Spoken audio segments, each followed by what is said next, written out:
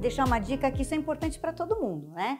Que é você se vacinar contra hepatite B e manter a sua, a sua carteira de vacinação em dia. Não só contra hepatite B, mas a gripe todo ano, ou sarampo, né? Então, é, ficar em contato, afinal de contas, a vacina é de graça, mas a pessoa tem que, que eu, que eu brinco, tem que pegar as perninhas e ir até lá. É mas precisa estar sempre é, por dentro de, do que, que ela precisa se vacinar para poder se proteger e proteger as outras pessoas também. Fica uma dica para o dono do salão pedir para todo mundo, porque ele está ajudando também com a saúde pública e a saúde das pessoas que trabalham ali dentro, né? Isso é bem legal também. São dicas valiosas, você vai encontrar muito mais no blog da Cristófoli.